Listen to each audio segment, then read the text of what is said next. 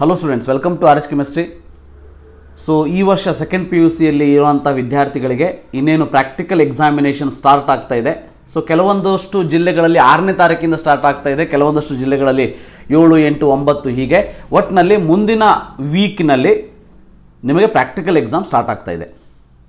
So ನಿಮ್ಮ practical ಎಕ್ಸಾಮಿಗೆ ಮೊದಲನೇದಾಗಿ ನನ್ನ ಕಡೆಯಿಂದ ಆಲ್ ದ ಬೆಸ್ಟನ್ನು ಹೇಳೋದಕ್ಕೆ ಇಷ್ಟಪಡ್ತೀನಿ.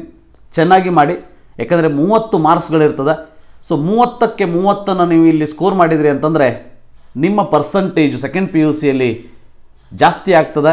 ಸೊ ಈ ಒಂದಷ್ಟು ಮಾರ್ಕ್ಸ್ಗಳು ನಿಮಗೆ ಸಿ ಇ ಟಿ ಎಕ್ಸಾಮಿನೇಷನ್ ರ್ಯಾಂಕಿನಲ್ಲೂ ಕೂಡ ಹೆಲ್ಪ್ ಆಗ್ತದೆ. ಈ ಒಂದು ನಿಟ್ಟಿನಲ್ಲಿ ಕೆಮಿಸ್ಟ್ರಿ ಸ್ಕೀಮ್ ಆಫ್ ವ್ಯಾಲ್ಯೂಯೇಷನ್ ನಾನು ಇಲ್ಲಿ ಡಿಸ್ಕಸ್ ಮಾಡ್ತಾ ಇದ್ದೀನಿ. ಸೊ ತಮಗೆಲ್ಲರಿಗೂ ಗೊತ್ತಿರ್ತದೆ, ಯಾವ್ಯಾವ ರೀತಿ ಇರ್ತದೆ, ನಿಮ್ಮ ನಿಮ್ಮ ಕಾಲೇಜ್ಗಳು ಕೂಡ ಹೇಳಿರ್ತಾರೆ. ಸೊ ಆದರೂ ಕೂಡ ಸೊ ಯಾರಿಗೆ ಗೊತ್ತಿಲ್ಲ ಅವರಿಗೆ ಇನ್ನೊಂದು ಸಾರಿ ನಿಮಗೆ ಅರ್ಥ ಆಗುವಂಥ ರೀತಿಯಲ್ಲಿ ಹೇಳ್ತೀನಿ. ಗೊತ್ತಿರಲಿ, ಎರಡು ತಾಸಿನ ಎಕ್ಸ್ಪೆರಿಮೆಂಟ್ ಇರ್ತದೆ, ಮೂವತ್ತು ಮಾರ್ಕ್ಸ್ ಇರ್ತದೆ. ಅದರಲ್ಲಿ ಎರಡು ಎಕ್ಸ್ಪೆರಿಮೆಂಟನ್ನು ಮಾಡ್ತೀವಿ ನಾವು.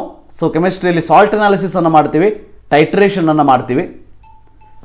ಸೊ ಇದರ ಜೊತೆಗೆ ವೈವಾ ಅಂತ ನಾವೇನು ಹೇಳ್ತೀವಿ, ಆ ವೈವಾಕ್ಕೆ ನಿಮಗೆ ನಾಲ್ಕು ಮಾರ್ಕ್ಸ್ಗಳಿರ್ತದೆ ಸೊ ಅದಾದ ಮೇಲೆ ರೆಕಾರ್ಡ್ ಅಂತ ನಾವೇನು ಹೇಳ್ತೀವಿ ಜರ್ನಲ್ ಅಂತ ಏನು ನಾವು ಕರಿತೀವಿ. ಸೊ ಆ ಜರ್ನಲ್ ಕಂಪ್ಲೀಟ್ ಆಗಿದ್ದರೆ ಆರು ಮಾರ್ಕ್ಸ್ಗಳು ಬೀಳ್ತದೆ.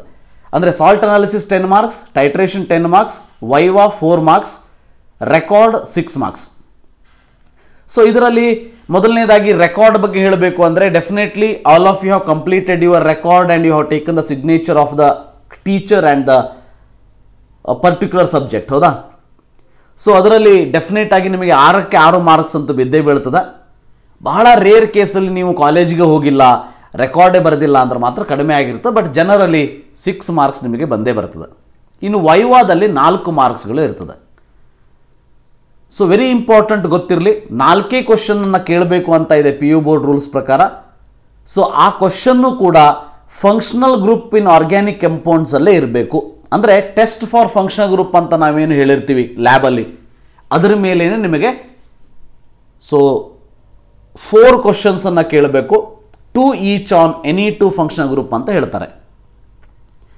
ಅವ್ರು ನಾಲ್ಕು ಕ್ವಶನನ್ನು ಕೇಳಲೇಬೇಕು ಕೇಳ್ತಾರೆ. ಸೊ ಇದರಲ್ಲಿ ಬಹಳ ಇಂಪಾರ್ಟೆಂಟ್ ಆಗಿ ಗೊತ್ತಿರಲಿ ಎಕ್ಸ್ಟರ್ನಲ್ ಎಕ್ಸಾಮಿನರ್ ಅಂತ ಒಬ್ಬರು ಇರ್ತಾರೆ ಇಂಟರ್ನಲ್ ಎಕ್ಸಾಮಿನರ್ ಅಂತ ಒಬ್ಬರು ಇರ್ತಾರೆ. ಸೊ ಎಕ್ಸ್ಟರ್ನಲ್ ಎಕ್ಸಾಮಿನರ್ ಆದರೂ ನಿಮಗೆ ಕ್ವಶನ್ ಕೇಳ್ಬೋದು ಇಂಟರ್ನಲ್ ಆದರೂ ಕೇಳ್ಬೋದು ಬಟ್ ಯಾರು ಕೇಳಿದ್ರು ಕೂಡ ಆನ್ಸರನ್ನು ಹೇಳುವಂಥ ಮಟ್ಟದಲ್ಲಿ ನೀವು ಪ್ರಿಪೇರ್ ಆಗಿರಬೇಕು. So viva on function group ಅದರಲ್ಲಿ ನಾಲ್ಕು ಮಾರ್ಕ್ಸ್ ಇರ್ತದೆ ಟೋಟಲ್ ಟೆನ್ ಆಯಿತು. ಇನ್ನು ನಾವು if we come to salt analysis salt ಅನಾಲಿಸಿಸನ್ನು ನೋಡಿದಾಗ ಗೊತ್ತಿರಲಿ ಹತ್ತು ಮಾರ್ಕ್ಸ್ಗಳು ಇರ್ತದೆ. ಅದರಲ್ಲಿ ಮಾರ್ಕ್ ಡಿಸ್ಟ್ರಿಬ್ಯೂಷನ್ ಹೇಗಾಗಿರ್ತದೆ ಅಂತಂದರೆ, ನೀವು ಪ್ರಿಲಿಮಿನರಿ ಟೆಸ್ಟನ್ನು ಏನು ಮಾಡಿ ತೋರಿಸ್ತೀರಿ, ಅದಕ್ಕೆ ಒಂದು ಮಾರ್ಕ್ಸನ್ನು ಕೊಡ್ತಾರೆ. ಅದಕ್ಕೆ ಅಪಿಯರೆನ್ಸ್ ಇರ್ಬೋದು ಕಲರ್ ಇರ್ಬೋದು ಸಾಲಿಬಿಲಿಟಿ ಟೆಸ್ಟ್ ಇರ್ಬೋದು, ಇವೆಲ್ಲವನ್ನು ಸೇರಿ ಪ್ರಿಲಿಮಿನರಿ ಟೆಸ್ಟ್ ಅಂತ ಏನು ನಾವು ಹೇಳ್ತೀವಿ, ಅದಕ್ಕೆ ಒಂದು ಮಾರ್ಕ್ಸ್ ಇರ್ತದೆ. ಆ್ಯಸಿಡ್ ರೆಡಿಕಲ್ ಡಿಟೆಕ್ಷನ್ಗೆ ನಾಲ್ಕು ಮಾರ್ಕ್ಸ್ಗಳು ಇರ್ತದೆ. ಅದರಲ್ಲಿ ಗ್ರೂಪ್ ಐಡೆಂಟಿಫಿಕೇಶನ್ ಮಾಡಬೇಕು. Acid ರೆಡಿಕಲಲ್ಲಿ group one group two group three ಅಂತ ಏನಿರ್ತದೆ. ಆ ಗ್ರೂಪನ್ನು ಐಡೆಂಟಿಫೈ ಮಾಡುವಂಥ ಟೆಸ್ಟನ್ನು ನೀವೇನು ಮಾಡ್ತೀರಿ? ಅದಕ್ಕೆ ಎರಡು ಮಾರ್ಕ್ಸು ಸೊ ಕನ್ಫರ್ಮೇಟರಿ ಟೆಸ್ಟ್ ಏನಿದೆ ಅದಕ್ಕೆ ಎರಡು ಮಾರ್ಕ್ಸ್ ಇರ್ತದೆ. ಅದರಲ್ಲಿ ಗ್ರೂಪ್ ಐಡೆಂಟಿಫಿಕೇಶನ್ ಒನ್ ಮಾರ್ಕ್ಸ್ ಇದ್ದರೆ ಕರೆಕ್ಟ್ ರೆಡಿಕಲ್ ಐಡೆಂಟಿಫಿಕೇಷನ್ಗೆ ಒನ್ ಮಾರ್ಕ್ ಇರ್ತದೆ. ಸೊ ಕನ್ಫರ್ಮೇಟ್ರಿಗೆ ಎರಡು ಮಾರ್ಕ್ಸ್ ಇರ್ತದೆ. ನೀವು ಪ್ರತಿಯೊಂದು ಟೆಸ್ಟ್ ಆದಾಗ ಸೊ ಅದನ್ನು ಎಕ್ಸ್ಟರ್ನಲ್ ಎಕ್ಸಾಮಿನರಿಗೆ ತೋರಿಸ್ಬೇಕಾಗ್ತದೆ. ತೋರಿಸಿ ಅವರ ಒಂದು ಒಪ್ಪಿಗೆಯನ್ನು ತಗೊಂಡು ನೀವು ಮುಂದೆ ಬರೀಬೇಕಾಗ್ತದೆ. ಡಿಟೆಕ್ಷನ್ ಆಫ್ ಬೇಸಿಕ್ ರೆಡಿಕಲಲ್ಲಿ ಫೋರ್ ಮಾರ್ಕ್ಸ್ ಇರ್ತದೆ. ಗ್ರೂಪ್ ಡಿಟೆಕ್ಷನ್ ಟೆಸ್ಟ್ ಅಂತ ನಾವೇನು ಹೇಳ್ತೀವಿ? ಒರಿಜಿನಲ್ ಸೊಲ್ಯೂಷನ್ ಅಥವಾ ಸಾಲ್ಟ್ ಸೊಲ್ಯೂಷನ್ ಯೂಸ್ ಮಾಡಿ. ಸೊ ಅದಕ್ಕೆ ಎರಡು ಮಾರ್ಕ್ಸ್ ಇರ್ತದೆ. ಕನ್ಫರ್ಮೇಟರಿ ಟೆಸ್ಟ್ಗೆ ಎರಡು ಮಾರ್ಕ್ಸ್ ಇರ್ತದೆ.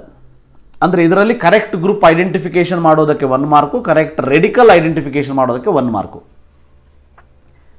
then finally writing the systematic procedure with absence of previous group absence of previous group ಬರೀಬೇಕು. ನೀಟಾಗಿ ನಿಮ್ಮ ಸಿಸ್ಟಮ್ಯಾಟಿಕ್ ಅನಾಲಿಸಿಸನ್ನು ಏನು ಬರೀತೀರಿ?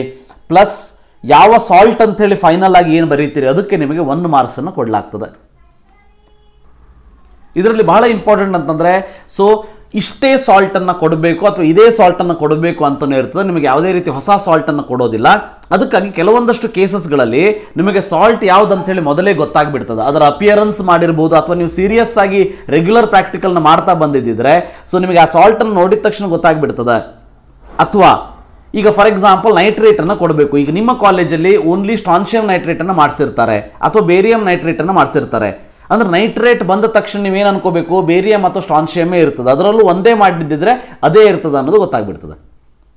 ಈಗ ಕಾರ್ಬೋನೇಟ್ ಅಂತ ಏನಾದರೂ ಕೊಟ್ಟಿದ್ರೆ, ಸೊ ಕಾರ್ಬೋನೇಟ್ ಜೊತೆಗೆ ಒಂದು ಅಮೋನಿಯಂ ಕೊಡ್ಬೋದು, ಇಲ್ಲ ಮೆಗ್ನೀಷಿಯಂ ಕೊಡ್ಬೋದು, ಇಲ್ಲ ಕ್ಯಾಲ್ಸಿಯಂ ಕೊಡ್ಬೋದು. ಕೆಲವೊಂದಷ್ಟು ಕಾಲೇಜಸ್ಗಳಲ್ಲಿ ಮೆಗ್ನೀಷಿಯಂ, ಕ್ಯಾಲ್ಸಿಯಂ ಎರಡನ್ನೇ ಮಾಡಿಸಿರ್ತಾರೆ. ಕಾರ್ಬೋನೇಟ್ ನಿಮಗೆ ಆಸಿಡ್ ರೆಡಿಕಲ್ ಕನ್ಫರ್ಮೇಷನ್ ಆದ ತಕ್ಷಣ, ಸೊ ನೀವು ಕಾರ್ ದಿಸ್ ಕ್ಯಾಲ್ಸಿಯಂ ಮತ್ತು ಬೇರಿಯಂ ಅನ್ನೋದನ್ನು ತಲೆಯಲ್ಲಿ ಇಟ್ಕೊಂಡು ಟೆಸ್ಟನ್ನು ಮಾಡ್ತಾ ಹೋದ್ರಿ ಅಂತಂದ್ರೆ ನಿಮಗೆ ಈಸಿ ಆಗ್ತದೆ. ಇದರ ಬಗ್ಗೆ ಟೆಕ್ನಿಕ್ಸ್ಗಳನ್ನು ನಿಮ್ಮ ನಿಮ್ಮ ಕಾಲೇಜಸ್ಗಳಲ್ಲೂ ಕೂಡ ಎಫಿಷಿಯೆಂಟ್ ಟೀಚರ್ಸ್ಗಳು ಹೇಳಿರ್ತಾರೆ. ಬಟ್ ನೀವು ಕರೆಕ್ಟಾಗಿ ಅದನ್ನು ನೆನಪು ಮಾಡಿಕೊಂಡು, ಯಾಕಂದರೆ ಇದರಲ್ಲಿ ನಿಮಗೆ ಚಾರ್ಟ್ ಅಲೋ ಇರೋದಿಲ್ಲ. So remember the things and write in the paper with a neat systematic manner ಇನ್ನು ಟೈಟ್ರೇಷನ್ ಹತ್ತು ಮಾರ್ಕ್ಸ್ ಅಂತ ಏನಿರ್ತದೆ? ಸೊ ಟೈಟ್ರೇಷನಲ್ಲಿ ಪರ್ಫಾರ್ಮಿಂಗ್ ದ ಎಕ್ಸ್ಪೆರಿಮೆಂಟ್ ನಿಮಗೆ ಮೂರು ಮಾರ್ಕ್ಸ್ ಇರ್ತದೆ. Recording in the readings recording the readings in the tabular column ನಿಮಗೆ ಒಂದು ಮಾರ್ಕ್ಸ್ ಇರ್ತದೆ. ಅಂದರೆ ಪರ್ಫಾರ್ಮಿಂಗ್ ಎಕ್ಸ್ಪೆರಿಮೆಂಟ್ ಅಂತಂದರೆ ಬ್ಯೂರೆಟ್ಟಲ್ಲಿ ಯಾವ ಸೊಲ್ಯೂಷನ್ ಹಾಕಬೇಕು ಕೊನಿಕಲ್ ಫ್ಲಾಸ್ಕಲ್ಲಿ ಏನನ್ನು ತಗೋಬೇಕು ಸೊ ಎಂಡ್ ಪಾಯಿಂಟನ್ನು ತಗೋಬೇಕು ಸೊ ನೀವು ಮಾಡುವಂತಹ ಪ್ರೊಸೀಜರ್ನ ನೋಡಿಕೊಂಡು ಮೂರು ಮಾರ್ಕ್ಸನ್ನು ಕೊಡ್ತಾರೆ. ರೆಕಾರ್ಡಿಂಗಿಗೆ ನಿಮಗೆ ಒಂದು ಮಾರ್ಕ್ಸನ್ನು ಕೊಡ್ತಾರೆ. ಅಂದರೆ ಟ್ಯಾಬ್ಲರ್ ಕಾಲಮ್ ಹಾಕಿ ಬರೆಯೋದಕ್ಕೆ ಒಂದು ಮಾರ್ಕ್ಸನ್ನು ಕೊಡ್ತಾರೆ. ಇದರಲ್ಲಿ ನಿಮಗೆ ಪ್ರೊಸೀಜರ್ ಬರೆಯುವಂಥ ಅವಶ್ಯಕತೆ ಇರೋದಿಲ್ಲ.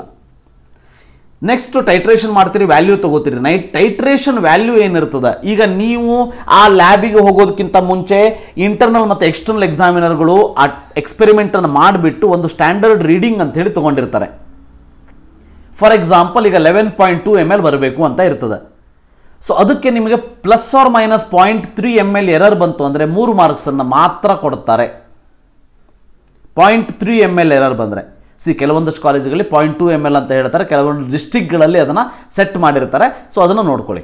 Point four M L error ಬಂತು ಅಂದರೆ ಟೂ ಮಾರ್ಕ್ಸನ್ನು ಹೇಳ್ತಾರೆ. Point five M L error ಬಂತು ಅಂದರೆ one mark point six M L or above error ಬಂತಂದರೆ ಝೀರೋ ಮಾರ್ಕ್ಸನ್ನು ಕೊಡ್ತಾರೆ. ಅಂದರೆ ಈಗ ಲೆವೆನ್ ಪಾಯಿಂಟ್ ಟೂ ಬರಬೇಕಿತ್ತು ನಿಮ್ಮದೇನಾದರೂ ಲೆವೆನ್ ಪಾಯಿಂಟ್ ಏಯ್ಟ್ ಬಂದುಬಿಡ್ತು. ಝೀರೋ ಮಾರ್ಕ್ಸ್ ಕೊಡ್ಬೋದು. ಜನರಲಿ ಏನಾಗ್ತದೆ? ಯಾರೇ ಎಕ್ಸ್ಟರ್ನಲ್ ಅಥವಾ ಇಂಟರ್ನಲ್ ಎಕ್ಸಾಮಿನರ್ ಇದ್ದರೂ ಕೂಡ ಇದು ಎಕ್ಸಾಮಿನೇಷನ್ ಸಮಯ ಆಗಿರೋದಕ್ಕೆ ಮತ್ತು ಆ ಒಂದು ಎರಡು ತಾಸಿನಲ್ಲಿ ನಿಮ್ಮ ಹಂಡ್ರೆಡ್ ಪರ್ಸೆಂಟ್ ಎಫಿಷಿಯನ್ಸಿಯನ್ನು ನೋಡೋದಕ್ಕೆ ಸಾಧ್ಯ ಆಗದೇ ಇರುವಂಥ ಕಾರಣಕ್ಕೆ ಸೊ ಏನು ಮಾಡ್ತಾರೆ? ಹಾಗೆ ಎರರ್ ಬಂದಾಗ ಆ ಎಕ್ಸ್ಟರ್ನಲ್ ಎಕ್ಸಾಮಿನರ್ ಅಥವಾ ಇಂಟರ್ನಲ್ ಎಕ್ಸಾಮಿನರ್ ನಿಮಗೆ ಹೇಳ್ಬೋದು, ಇನ್ನೊಂದ್ಸಲಿ ಮಾಡ್ಕೊಂಡು ಬಾರಪ್ಪ ಅಂಥೇಳಿ. ಆವಾಗ ನೀವು ಅಂದ್ಕೊಳ್ಬೇಕು ಈಗ ಮಾಡಿದ್ದು ರಾಂಗ್ ಇದೆ ಇನ್ನೊಂದು ಸಲ ಮಾಡಬೇಕು ಅಂಥೇಳಿ. ಸೊ ಹೋಗಿ ಇನ್ನೊಂದ್ಸರಿ ವ್ಯಾಲ್ಯೂನ ತೊಗೊಂಡು ಬಂದು ಕೊಡಿ. ಇಷ್ಟೆಲ್ಲ ಆಗಿ ನೀವು ಆ ಟೈಟರ್ ವ್ಯಾಲ್ಯೂನ ಟೇಬಲ್ ಕಾಲಮಲ್ಲಿ ಹಾಕ್ತೀರಿ, ಅದಾದಮೇಲೆ calculation of molarity molarity formula ಏನು ಬರೀತೀರಿ? A one M one A one equal to A two M two V two so ನಿಮ್ಮಲ್ಲಿ ಏನು ಫಾರ್ಮುಲಾ ಬರ್ಸಿದ್ದಾರೆ ಆ ಫಾರ್ಮುಲಾ ಬರೀತೀರಿ. ಅದಕ್ಕೆ ಒನ್ ಮಾರ್ಕು ಸಬ್ಸ್ಟ್ಯೂಷನ್ ಮತ್ತು ಆನ್ಸರ್ನ ಬರೆದುಬಿಟ್ಟು ಸೊ ಅದಕ್ಕೆ ಟೂ ಮಾರ್ಕ್ಸನ್ನು ಕೊಡ್ತಾರೆ. ಟೋಟಲ್ ಆಗಿ ಟೆನ್ ಮಾರ್ಕ್ಸನ್ನು ನಿಮಗೆ ಅಲಾಟ್ ಮಾಡಲಾಗ್ತದೆ. ಸೊ ಜನರಲಿ ತರ್ಟಿಗೆ minimum twenty eight twenty nine twenty seven ಅಂತೂ ಬಂದೇ ಬರ್ತದೆ. ನೀವು ಅಂತಹ ಲ್ಯಾಬ್ ಒಳಗೆ ಹೋಗಿಬಿಟ್ಟು ಏನೂ ಮಾಡೇ ಇಲ್ಲ ಅಂತಂದರೆ ಏನು ಮಾಡೋದಕ್ಕೂ ಸಾಧ್ಯ ಇಲ್ಲ. ಬಟ್ ಆದಷ್ಟು ಓದ್ಕೊಂಡು ಹೋಗಿ ಟೈಮ್ ಇರ್ತದೆ. ಒಂದು ಅರ್ಧ ತಾಸು, ಒಂದು ತಾಸು ಕುತ್ಕೊಂಡು ನೀವು ಕರೆಕ್ಟಾಗಿ ಓದ್ಕೊಂಡ್ರು ಸಾಕು. ನಿಮಗೆ ತರ್ಟಿ ಮಾರ್ಕ್ಸ್ ನಿಮ್ಮ ಜೇಬಿನಲ್ಲಿ ಇರುವಂತಹ ಮಾರ್ಕ್ಸ್ಗಳು ಇದು. ಗೊತ್ತಿರಲಿ ವಿದ್ಯಾರ್ಥಿಗಳೇ. ಸೊ ಇದನ್ನು ಕಳ್ಕೊಳ್ಳೋದಕ್ಕೆ ಹೋಗಬೇಡಿ. ಅಲ್ಲಿ ಎಕ್ಸ್ಟರ್ನಲ್ ಏನು ಹೇಳ್ತಾರೆ ಅದಕ್ಕೆ? ಎಸ್ ಅಂತ ಹೇಳಿ. ಯಾವುದೇ ರೀತಿ ಎಕ್ಸ್ಟರ್ನಲ್ಗೆ ವಾದಿಸೋದಕ್ಕೆ ಹೋಗಬೇಡಿ. ಅಲ್ಲಿ ನಿಂತ್ಕೊಂಡು, ಸರ್, ನನಗೆ ಇದನ್ನು ಕಲಿಸಿಲ್ಲ, ಅದನ್ನು ಮಾಡಿಲ್ಲ, ಇದನ್ನು ಮಾಡಿಲ್ಲ ಅಂತ ಹೇಳೋದಕ್ಕೆ ಹೋಗಬೇಡಿ. ಸೊ ಒಬಿಡಿಯಂಟ್ ಆಗಿರಿ. Definitely you are going to score out of out in practical exam so ಈ ಮೂವತ್ತು ಮಾರ್ಕ್ಸ್ಗಳು, ಮೂವತ್ತಕ್ಕೆ ಮೂವತ್ತು ಮಾರ್ಕ್ಸ್ಗಳು ನಿಮಗೆ ಬರೋ ಹಾಗೆ ಆಗಲಿ. ಈ ಒಂದು ಸ್ಕೀಮ್ ಆಫ್ ವ್ಯಾಲ್ಯೂಯೇಷನ್ನ ಫಾಲೋ ಮಾಡಿ. ಸೊ ನೀವು ಏನು ಸೀರಿಯಸ್ ಆಗಿ ಇಷ್ಟು ದಿನ ಮಾಡ್ಕೊಳ್ತಾ ಬಂದಿದ್ದೀರಿ ಅದನ್ನು ನಾಳೆಯ ದಿವಸವೂ ಕೂಡ, ಅಂದರೆ ನಿಮ್ಮ ಎಕ್ಸಾಮಿನೇಷನ್ ದಿವಸವೂ ಕೂಡ ಆ ಎರಡು ತಾಸಿನಲ್ಲಿ ಕೂಲಾಗಿ ಪೇಷನ್ಸ್ ಇಟ್ಕೊಂಡು ಮಾಡಿ. Definitely are going to get thirty out of thirty ಅಂತ ಹೇಳ್ತಾ ಈ ಒಂದು ವಿಡಿಯೋನ ಇಲ್ಲೇ ಮುಗಿಸೋಣಂತೆ. Thank you have a nice day